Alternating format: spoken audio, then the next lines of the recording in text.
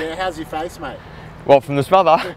yeah, well executed, I would have thought. Uh, yeah, it's one of those ones where you just for sure and certain Scott Pendlebury is just going to put it straight over your hands, but unfortunately he's put it straight into my jaw.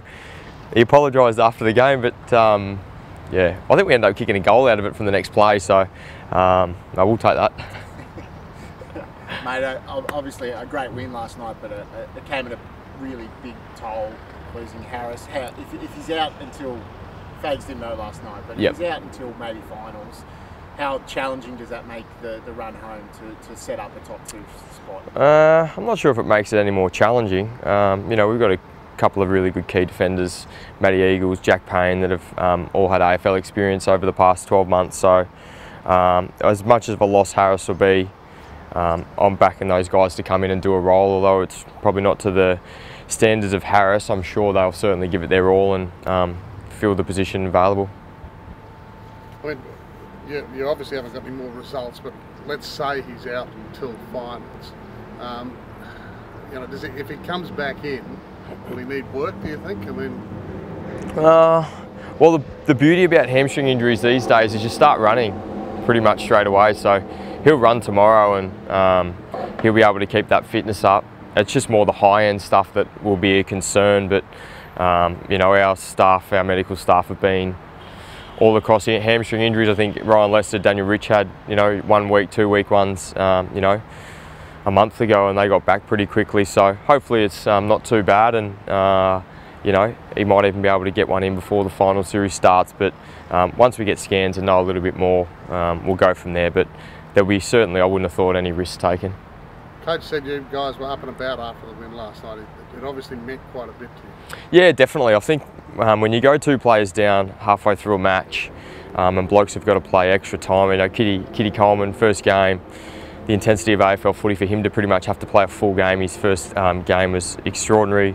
Um, you know, obviously we hadn't beaten Collingwood for a long time as well, so um, it was great. It was great to win in front of our fans um, who came out last night. I think there was 16,000, extremely loud. So to, to get the result, um, you know, although we did get a goal, only one goal in the second half, I think defensively, you know, we are really switched on and Collingwood threw a lot of different looks at us. They threw Darcy Moore forward. You know, Cox was obviously a, a big mismatch for all our defenders with Harris out. So really gritty and gutsy win, and um, you know, glad the boys enjoyed it. Your coach last night said that the Gabba is the loudest stadium yeah. in Australia. Hasn't gone down particularly well with fans in Melbourne and Perth. no. You backing the coach in that one? I'm absolutely backing the coach in that one. Um, Last year when Linc McCarthy took that mark against Geelong was by far the loudest noise I've ever heard. Now, I haven't played in front of 80, but I've played in front of 70 and I think the 30 that was here last year was a little bit louder than a 70 at the MCG. So something about it just echoing here is, um, you know, it's a real key asset to this ground and um, anyone who can come and experience it live, they certainly should. You're about to go hold a trophy with Jack and out in front of this ground, mate? Have you let yourself think that there's a chance you could be holding a different trophy in, a, in about six weeks' time? Oh, it'd be amazing to uh, you know to do, but you know obviously there's so much work to go into that still. Um, you know we've got Gold Coast on Wednesday night. They're playing exceptional football all year, really. Um, sort of reminds us. I was just talking to Jack. Reminds us of us a couple of years ago when we were so close but just weren't getting the results. Um, and you keep toiling away, and that'll eventually change for you. And um, you know, we won't look too far ahead than, than Wednesday night. We can't. Um, we need to be uh, locked on and really fine tune and execute our game plan a lot better than what we probably have.